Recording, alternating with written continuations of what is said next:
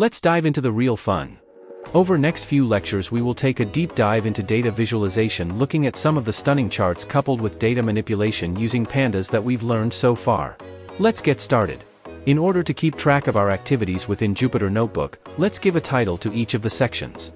Highlight the last blank cell within your notebook and click at the start of cell. Press M. You will see Markdown written at the drop menu instead of code. It means this cell is treated as text and not a code. Write matplotlib as title using three hash letters in the prefix.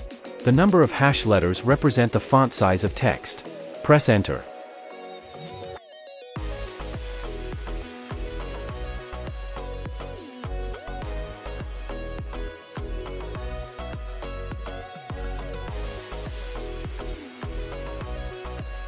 Let's import libraries for visualization and data analysis.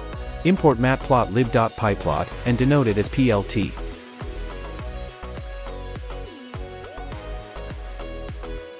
Then import numpy, that will be used to generate sample dataset for us.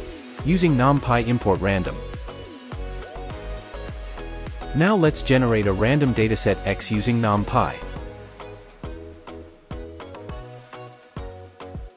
The total length of data array is set using size argument.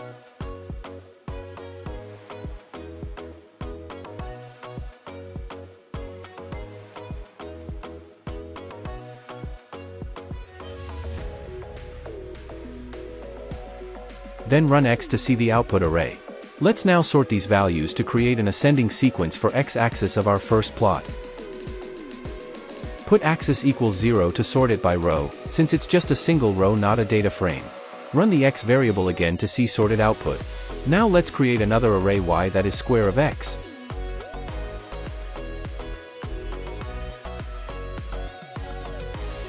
We are ready to create our first plot.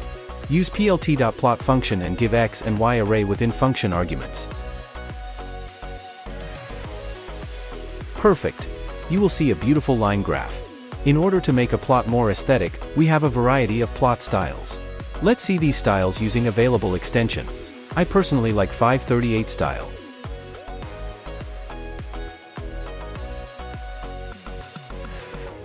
Let's use it. We can set the style using use, extension and giving style name within arguments.